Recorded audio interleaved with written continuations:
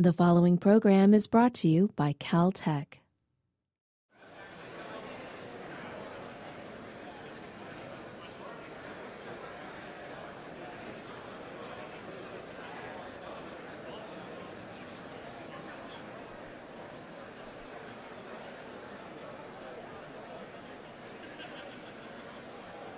Our next speaker uh, is Jens Kauffmann, uh, who's a postdoctoral scholar here at Caltech. Uh, his research expertise is in molecular clouds and formation, early stages of star formation, and uh, he's used facilities uh, ranging from radio millimeter, uh, submillimeter on the ground to far infrared and mid infrared from space. And he is going to compare for us the um, uh, comparison of airships to uh, different platform, various other platforms, and uh, talk about the advantages. So, Jens.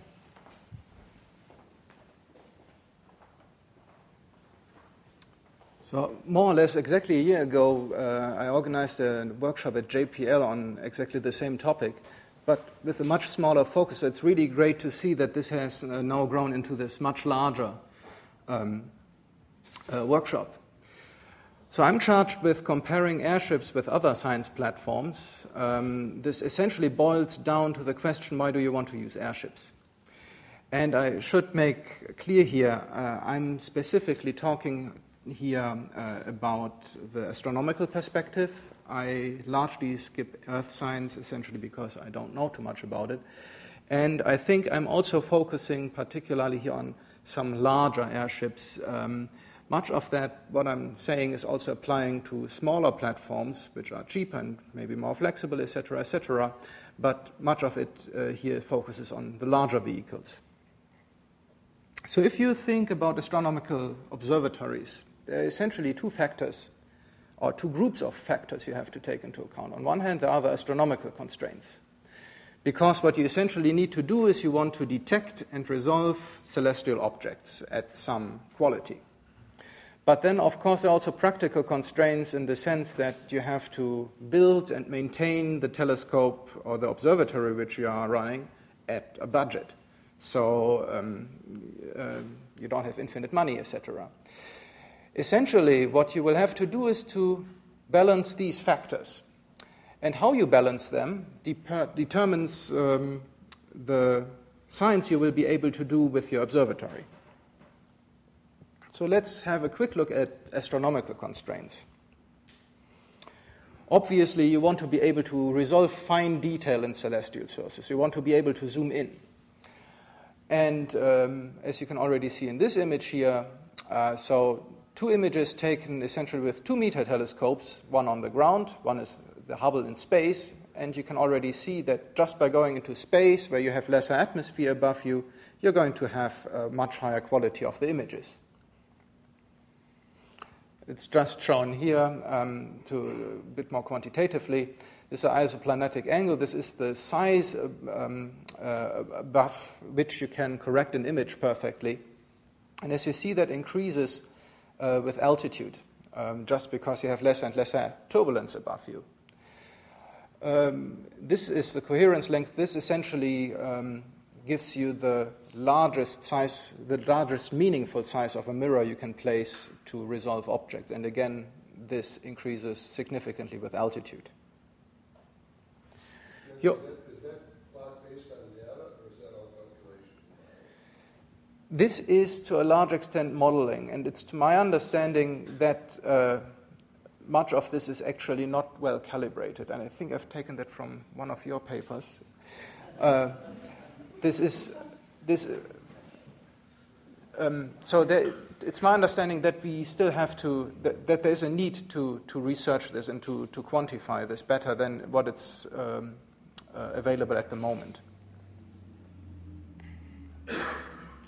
So the other factor is the high sensitivity. You want to be able to detect faint objects, and again, obviously, uh, same size of telescope, one on ground, one on space, and you can see much more faint stars uh, essentially again because you have lesser atmosphere above you, lesser absorption. But it's not only that you will be able to detect fine, um, uh, more faint objects, but you will also be able to detect uh, different sorts of objects, so to say. because from the ground, obviously, you cannot observe at visible, visible wavelength. While if you're in space, like here with the, with the Spitzer Space Telescope, you can observe infrared light, which is just not visible from the ground. And suddenly you see different categories of objects, uh, very young stars which are deeply embedded in dust clouds, and you just cannot see these objects from ground. And of course, infrared light is just one component of a large spectrum. Um, and as you see here, very globally, um, depending on the wavelength range at which you are observing, uh, you can see different sorts of stars, so to say, different components of the interstellar gas. If you want to understand all of the, or if you ha- want to have a global understanding of the physics of space, of what's happening in space, you will have to be able to observe as many of these phenomena as possible. And uh, obviously, if you go higher in the atmosphere, you open many of these windows. It's shown here. Think Stephen Lord is going to talk about this in the next talk in a bit more detail. Essentially, what's shown here is the transmission as a function of wavelength. And if you climb up high in the atmosphere, um, many of these spectral ranges, like this here, which is not observable from the ground, gets filled in. Um, this, for example, is a very critical wavelength because this is essentially where most of the light of uh, star forming clouds comes out. And so, if you want to understand star formation either nearby or in the distant universe, you will have to be able to access this part of the spectrum. This is essentially because when you climb up, you leave a lot of water vapor below you. And so the water vapor contributes to the absorption, and by climbing high in the atmosphere, well, you have a better transparency.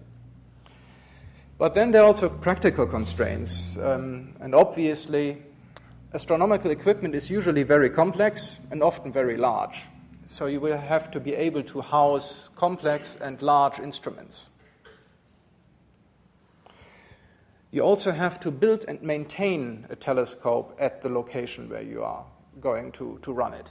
And uh, that can be very complicated in space, where uh, you have essentially to send up the shuttle to repair the Hubble. But if you're on top of Mauna Kea, then you just have to send up somebody by car and fix a problem or run the telescope directly um, uh, uh hands on. Costs are another limiting factor. If you're thinking about space missions, uh, costs a couple of hundred million dollars usually, and the large observatories are in the billion dollar regime. But if you're running a small balloon bow, not even necessarily small, a balloon borne telescope, then a couple of million dollars are sufficient to do that, and sometimes even less.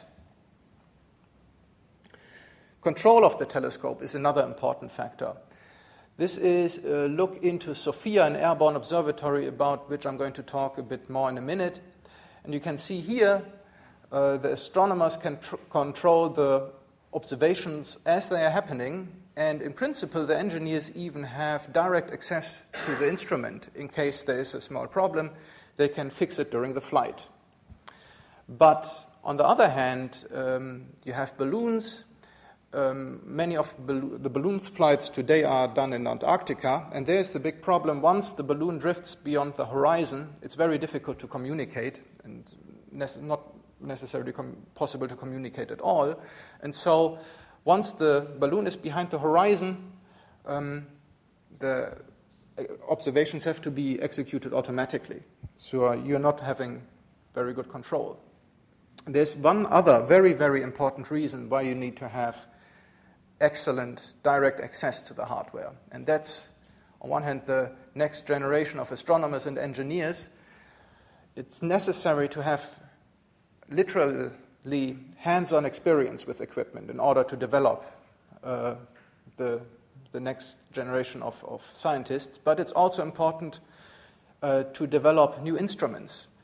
Obviously, if you have a new instrument, it's not well developed at, um, in the first stages, so you will need to be able to, to fix problems as they're happening. And to be able to do that, you need to be able to access the instrumentation. Now let's have a look at what's out there in terms of observatories at the moment. Very broad brush. There is, on one hand, the category of ground based observatories. Modern observatories nowadays are usually at high and dry places, uh, desert like environments. Also, the South Pole fits that description because there's actually not much water in the air. So, what are the advantages? Uh, it's very easy access. You drive up a mountain. Sometimes you have to take a plane, but you can easily get there. You can have very large structures, and it's very cheap. But of course, the problem is you have only access to a limited part of the spectral range. Uh, you cannot observe all the wavelengths relevant for science. And you have limited sensitivity, again, because you have absorbing atmosphere above you. The, at the opposite end of the spectrum, you have the space based observatories. Obviously, you have perfect transmission because you have no atmosphere above you it's very stable also in terms of temperatures, etc., so the telescope won't deform, etc., won't be affected by wind. It's extremely efficient in the sense that once you are up there, you can observe 24 hours a day, typically. But it's very expensive. You cannot really access physically the equipment.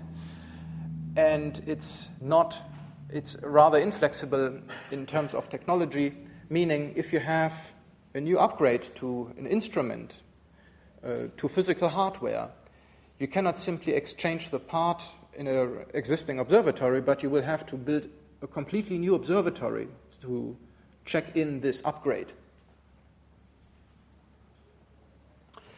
Then there are platforms in between. In particular, there is now uh, an airborne observatory, fixed wing observatory SOFIA, which is essentially a 747 with a door through which a telescope can look out. This flies at of order 40,000 feet. It flies out of Palmdale, California, but in principle can fly also in other parts of the world. This telescope has a size of two and a half meters. The idea is to fly this uh, three or four times per week once it's fully operational. There's one particular feature about SOFIA, and that's because the door is on one side of the aircraft and the telescope has to look out, it essentially means that you will have to observe at right angles from the flight direction. And that means that observing with that telescope is not necessarily, is, is uh, slightly inefficient in the sense that um, the observing direction is driven by the flight direction of the plane. And you, as you see here, for a typical flight plan, it's very complicated to uh, arrange an efficient flight plan. Also, because of all the rare airspace regulations in Southern California, because you have to avoid all these zones. So, SOFIA has the large advantage that um, transmission is okay. It's not perfect, but it's okay. Very easy access, as said, because you can just walk up to a running instrument and fix problems as they occur. And it's really, really great for instrument development uh, because you, if you discover a problem, you can repair it over during the day and you can fly upgraded hardware the next night. But observing procedures are not very uh, efficient. And one big issue is it's very expensive. So the lifetime costs are of order of $4 billion estimated. Another option uh, are stratospheric balloons. Uh, they operate of, at of order 120,000 foot. They can carry payloads of up to 2,000 kilogram. And you can also recover them in ideal circumstances. Here, for example, if you fly above Antarctica and you drop uh, near your base and you drop it, drop the payload back on the ice, you can collect it. The flight durations are typically of order a couple, 10 days. Just to give you some example flight profiles, uh, you can fly, for example, from Sweden to Canada, which takes, in this particular example, four days. In principle, you could continue circling here but uh, Russian airspace is usually closed, though I've heard that there might be possibilities to open that up at some point. Uh, very often done at the moment are flights from Antarctica. The idea is that you keep circling above the ice so that you can collect your payload once you cut it loose and the payload comes down on a parachute. This example flight here took uh, 54 days, which is rather long. Um, more typical are flight durations of something like 15 to 30 days. Other hope is to uh, start flying above the southern oceans. Uh, here, for example, is a 15 day flight uh, from, Austra- from Australia once around the globe and back. And so that would give you a couple of 10 days. And of course, uh, independent of these pr- flight profiles shown here, in principle, you could just keep circling around here or here if you don't care about collecting your payload. Then you could uh, keep it up for a much longer duration than what's indicated here if you don't care about collecting it. Have these happened, this other ocean Again, please. Have these occurred, this other ocean place? This is an actual flight. And there have been, uh, there have been a couple of uh, science flights uh, from Australia over to, to Southern America. That's another way how you can collect uh, your payload. So, for the balloons, um, great thing is they have very, very good transmission because you're very, very high in the atmosphere, and they are very cheap. But there's limited control of the experiment, and uh, the efficiency is also not so great because you just, depending on the, on the sort of your experiment, with the big experiments, you get a flight per season, one flight per year. Why is that? Why can't you just sort of recollect and send it back up? It depends. So um, some of the, it, it, depends also a bit on how sturdy you build your equipment. There are, um, there are telescopes, uh, once you drop them on the parachute, it's not necessarily a, a soft landing, and um, there are payloads where most of the payload actually gets destroyed and cannot be reused. There are other experiments which, if you build it really sturdy, just attach it again to the next balloon and fly it again. But for the larger telescopes, it's, it's an issue. And so in Antarctica, for example, you also are limited to the, to the, to the summer. So you uh, cannot go there uh, any time of the year, but you have to be there when the conditions are right, that you can have people there and that the wind speeds are low enough.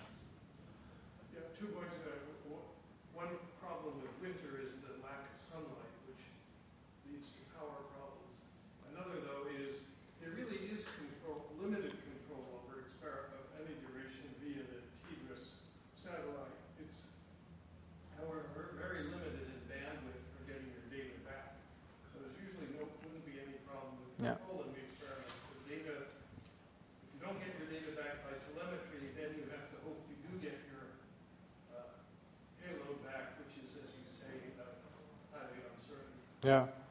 Um, so I should mention, of course, if you are above uh, Antarctica, there is a problem of uh, seeing satellites. So you cannot see geostationary satellites where most of the satellites are. And the current technology is essentially to write everything out onto hard disks and to collect that.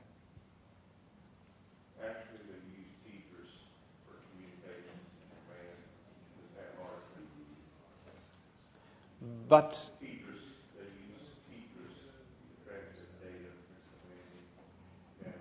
that might depend on the experiment. There are other experiments who write it out on, date, on, on the drives. So essentially, it means that if you go up in the atmosphere, you have better data quality, but of course, it's much more difficult to observe at high altitude. So, where do airships fit in there? Um, there are some obvious factors about airships. And I should mention here, I'm talking now about the more heavy lifting ones, which are going up at high altitudes. So, such vehicles have sizes of 100 to 200 meters.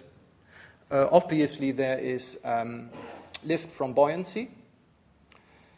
Um, they have motors, so you can they are flying in a controlled fashion. In particular, you can keep them overhead costs are probably per vehicle of order $100 million or more, but that's something we have to discuss here in the workshop. There are essentially two designs possible for such vehicles something which I would call extreme duration vehicles, um, meaning you launch them once and then they go up to very high altitude and stay there for a very, very long time uh, with solar power or so. uh, meaning months or years. Uh, disadvantage is that recovery is not necessarily straightforward and not necessarily possible to reuse these vehicles, depending on how you design them. Um, the other option would be vehicles re- with regular flights, so they fly like aircraft, uh, but with much longer flight durations. Why, why is the extreme duration, the long time ones, not easy to recover or not necessarily reusable? There are just concepts uh, which are so there, there, are some vehicles which have been designed to fly months and years to these altitudes, and they are just uh, not designed to be reused. Um, of course, you can build other vehicles, uh, but that's not necessarily what, uh, that's not always what is designed uh, in particular for the military. There are just military applications where you don't need to reuse the vehicle, and so the vehicle, um, if you would lift development for the military, for our purposes, um, those vehicles would just not be able to, to land and be used again. They but, have to bring it down at some point, right? Yes, but not necessarily in pristine condition. there, there, are vehicles which are just, um, they're essentially being landed by ripping open uh, the hull, and then you cannot use them again.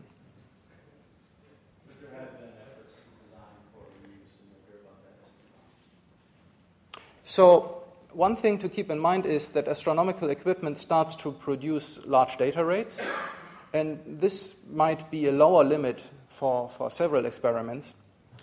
So, if you have an airship which you can just keep overhead, it would be really great because you have direct communication and you can uh, downlink data, and you can also control the observations as they are happening. That's not so straightforward with, with balloons um, once they are behind the horizon, uh, but yeah, there, there might be other. It's, it's, it's at least not as straightforward as communicating with an airship. If you have an airship which can land and be relaunched, um, one big advantage would be that you can switch payloads. So you bring down the airship, exchange the payload, you launch it again, and in case you realize that the blue payload is bro- broken, uh, you just land and fix the problem. That would be really great, and that's something balloons wouldn't offer. Observation planning and observation efficiency is, um, has the potential of being very high. So, um, in space, you could observe all year round, so that gives you eight or 9,000 hours. There are some ground based observatories which claim to observe half of that, but then, if you look to SOFIA or balloons, um, the observing efficiency goes down significantly. So, if you have an airship which flies every second week, for example, uh, you would beat many of these other observatories. Just a second, because that, that you're, you're assuming you're observing 24 hours a day every other week, right? And so that doesn't work if you can't work in the afternoon, for example. That's true. So if you were, just, just a comment, it seems to me there's a key question which, for this workshop, which is what's the, where's the comparative advantage of the airship for, for astronomical observations? It's not at all clear, and as you provide more and more facts, it actually becomes less clear. So hopefully, three days from now will be clear. That's going to be a real, a real item of considerable discussion. I- Why is it limited by daytime?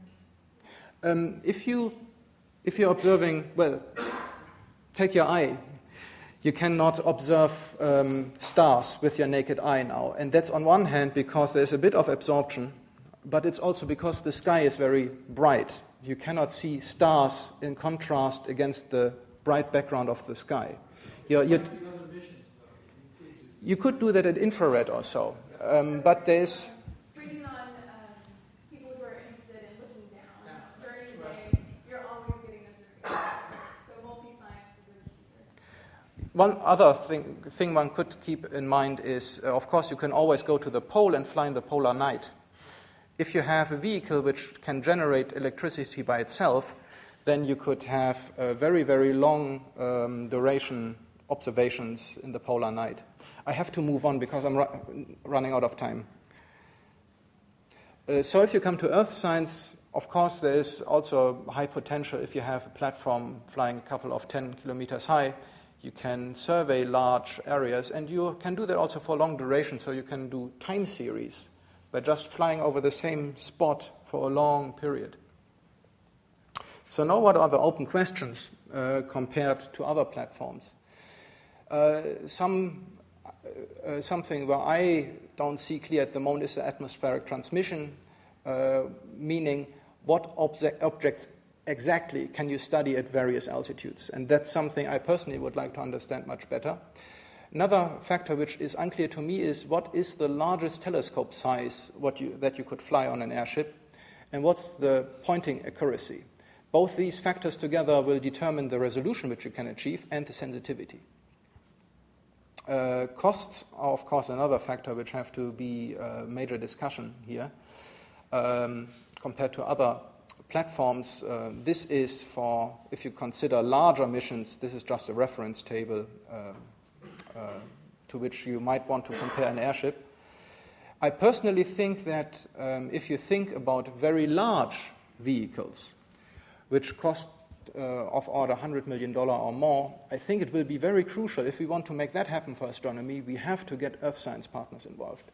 If we only have an astronomical platform which is at that cost level, I think uh, that will be very, very challenging to sell that. So I think it would be a very good idea if we would find ways to, if we want to have large and costly vehicles, I guess we will have to um, join forces with Earth Science in some way. Thank you.